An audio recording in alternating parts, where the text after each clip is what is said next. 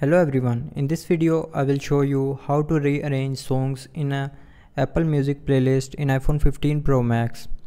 So before starting the video don't forget to subscribe the channel and also press the bell icon. So first of all open music app and then open a playlist in which you want to rearrange songs. Then click on this option icon and then click edit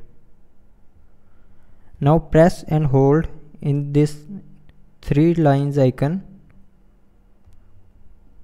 And then you can drag the song anywhere you want to place it. So for example I want to place this song on the top. Then I will press and hold on this song and drag it to top. Then click on done to save changes